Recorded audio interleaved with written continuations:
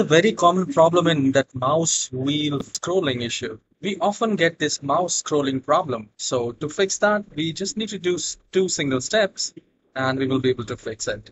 Here in the search, I can type control panel and we'll find the best match control panel. Now I'll just maximize that. Now here, select view by large icons. So if it's small, like this, or categories, then change it by large or small icons. Now here we have many options and we need to go to this mouse option. And here we need to do two things. Firstly, if it's in the middle, you can make it a little faster. At the top right corner, you can drag up to your convenience.